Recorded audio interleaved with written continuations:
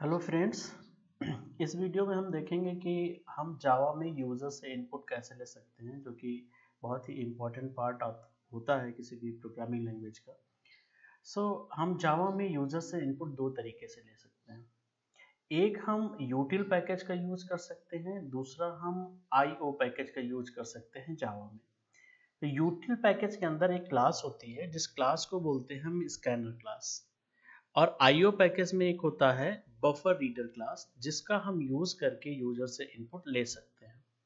सो so, हम इस programme के लिए नेटबीन्स आईडी का यूज़ कर रहे हैं और नेटबीन्स आईडी का यूज़ करने के बाद हम क्या करेंगे? हम डेमो देखेंगे कि कैसे हम अपने प्रोग्राम में यूज़र इनपुट ले सकते हैं जावा के प्रोग्राम मिंग कर करके जावा की प्रोग्रामिंग करके। सो so, यहाँ पे हम क्या करेंगे? सबसे पहले हम एक फ़ाइल क्रिएट करेंगे एक सबसे पहले हम एक पैकेज क्रिएट करेंगे, जिस पैकेज के अंदर हम अपनी फ़ाइल को क्रिएट करेंगे, जिसमें हम यूज़र से इनपुट लेंगे।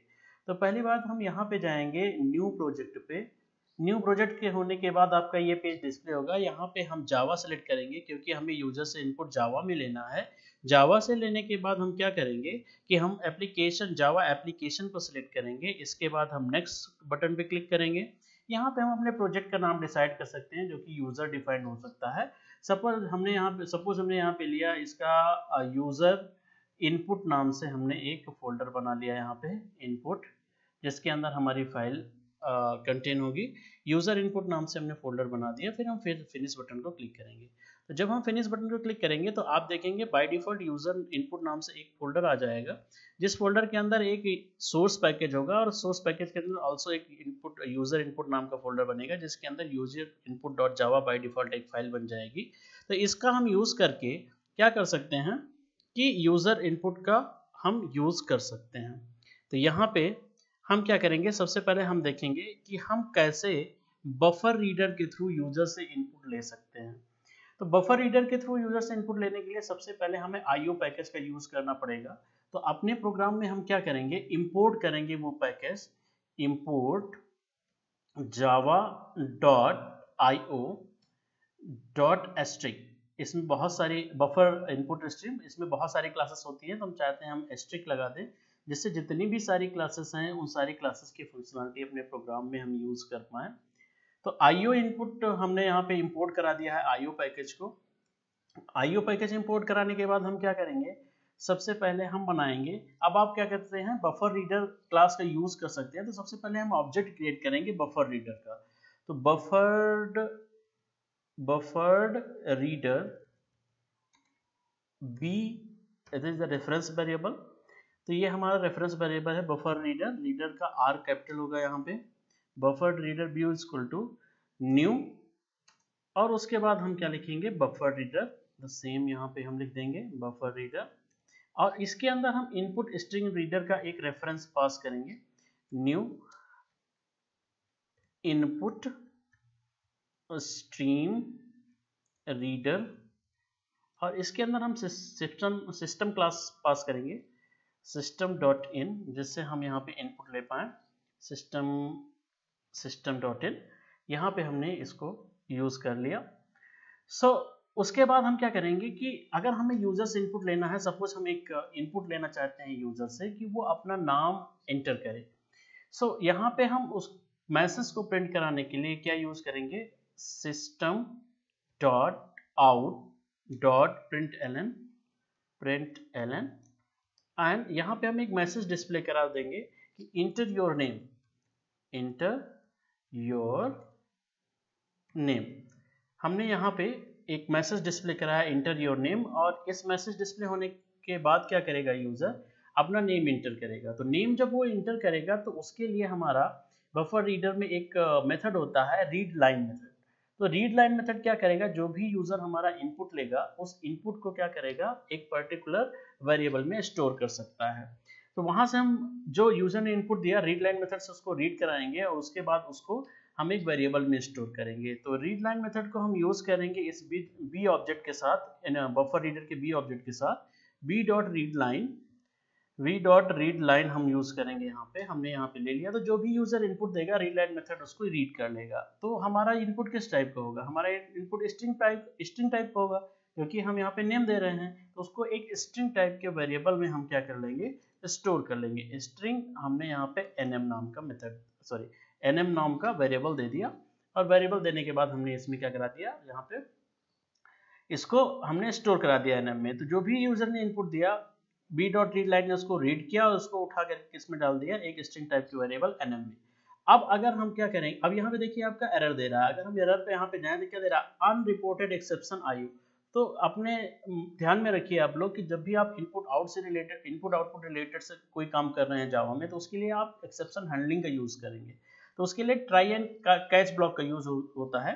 तो अगर आप उसको नहीं करना चाहते हैं तो आप एक्सेप्शन थ्रो कराने के लिए यहाँ पे क्या कर सकते हैं थ्रो थ्रो आईओ एक्सेप्शन भी यूज़ कर सकते हैं। जो कि कहाँ आएगा यहाँ पे थ्रो एक्सेप्शन के लिए। या आप ट्राई एंड कैच ब्लॉक का यूज़ कर लीजिए और ट्राई ब्लॉक के अंदर आप बी डॉट रीड लाइन को यूज़ कर लीजिए। दोनों ही केसेस में आप यूज़ कर सकते हैं। अब हमें इसको क्या कराना है? अब हमको इसे प्रिंट कराना है। तो अगेन हम यूज़ करेंगे system dot out dot print L method यहाँ पे। ए लाइन हम यहाँ पे यूज़ करेंगे और इस लाइन को यूज़ करने के बाद हम लोग क्या करेंगे कि इसके अंदर जो भी हमने वेरिएबल लिया है एन उसको हम प्रिंट करा लेंगे। यहाँ पे एक मैसेज लिख देते हैं कि यू हैव इंटर यहाँ पे कॉन्केटनेशन ऑपरेटर यूज़ कर लेते हैं। You have your name is your name is and यहाँ पे हम कर लेते हैं। अब इस प्रोग्राम को हम चला के देखते हैं। तो चलाने के लिए आप जहाँ पे अपनी फ़ाइल बनाया है, वहाँ पर राइट क्लिक करेंगे आप और यहाँ पे रन फ़ाइल करेंगे। तो ये आपसे पूछेगा इंटर योर नेम हमने यहाँ पे नेम रखा पीटर अगर आप इंटर मारेंगे तो योर नेम इज़ पीटर तो इस तरह से आप क्या कर सकते हैं? इस तरह से आप यूज़र इनपुट के लिए बफर रीडर का यूज़ कर सकते हैं। गॉट इट अभी दूसरा मेथड क्या है आपका? स्कैनर क्लास का यूज़ करके। तो आप रीड लाइन से चाहे आप स्ट्रिंग रीड करा लीजिए, चाहे इंटीजर रीड करा लीजिए, चाहे डबल या फ्लोट टाइप की वैल्यू रीड करा लीजिए, हर किसी में आपका रीड लाइन यूज़ होगा और ये एक्सेप्टेबल होगा। दूसरी हम मेथडोलॉजी यूज़ करते हैं आपका स्कैनर क्लास का। तो एक नई क्लास बनाते हैं जावा की, जिसमें हम क्या यूज़ करेंगे? यूज़र स्कैनर नाम की हम एक क्लास बना लेते हैं। और इसको यहाँ पे क्रिएट कर देते हैं। देखिए यूज़र स्कैनर नाम की हमारी एक क्लास बन गई। अगर हम स्कैनर का यूज़ करके कोई इनपुट यूज़ करना चाहते हैं अपने में इनपुट लेना चाहते हैं यूज़र से तो ये हमारा किस पैकेज में होता है? यूटिल पैकेज में क्लास होती है। तो सबसे पहले हमें इंपोर्ट कराना होगा यूटिल पैकेज को। सो so, हम क्या यूज़ करेंगे? यूटिल पैकेज डॉट एस्ट्रिक हम यूज़ कर लेंगे जिससे इसके अंदर लिखी हुई सारी क्लासेस और मेथड्स को हम यूज़ कर पाए। Util dot asterisk okay so अब इसके लिए हम क्या करेंगे? सबसे पहले हम यहाँ पे बनाएँगे public static void main public static void main static void main public static void main के बाद हम यहाँ पे इसमें कमांड लाइन आर्गुमेंट्स को एंटर कर देंगे, जो कि एक स्ट्रिंग टाइप का एरे होता है।